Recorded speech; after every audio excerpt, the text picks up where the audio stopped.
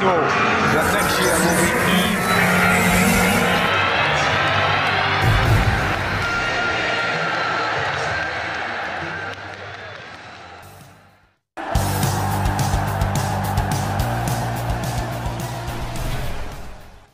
Reports Manchester United received big boosts in signing 25 goal world-class star.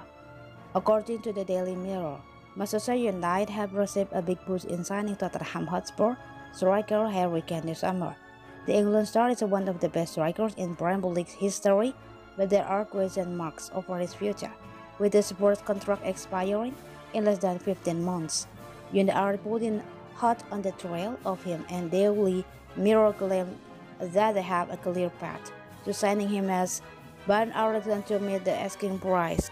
As per outlets, Spurs are likely to demand over 100 million pounds for he opts again extending his contract which is due to expire at the end of this next season.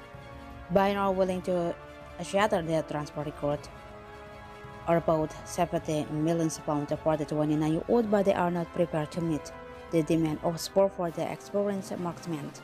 United have had a progress season under manager Erik ten Hag, and they are truly a solid proposition to qualify for the Champions League with a top four finish. Despite this, as the Man United boss will want to allow the striker to lead the line next season, considering there has been an over-dependent on Marcus Rashford for goals. The 25-year-old winger has bagged 28 goals in all competition this campaign, but he has lacked sufficient support up front. Anthony Martial has been United's best striker with 7 goals. Martial has spent most of the season on the sideline with injuries and Ten Hag will be eyeing another marksman with a genuine goal-scoring threat, yet perfectly fits the bill. He's probably a proven star with an excellent scoring record. This season alone, he had 25 goals in all competition with 23 of those coming in the English top flight. He has not won any major trophy with Spurs despite his huge commitment. He could be tempted to join United boost his prospect of winning Bowl in his career.